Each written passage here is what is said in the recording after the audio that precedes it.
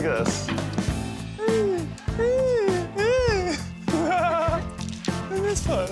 Our challenge is to make an interesting sculpture using found objects. I'm moving at a decent pace and trying to not make any fatal mistakes. Challenge to make junk not look like junk. Yeah.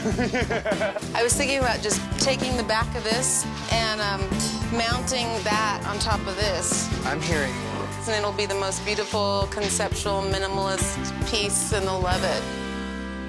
You look like a mad scientist over here. just completely took apart everything. I Really? gonna let the cords like start to just be themselves. Judith is kind of a nut, but I love her. She's not afraid to explore, but I'm not sure about her piece. Okay, so this is what I want to do is like just like throw them in and like have them trying to escape, you know. The old cords kind of took on a life of their own. Actually, I went back to a childhood experience for myself of playing with little miniature things and enjoying that.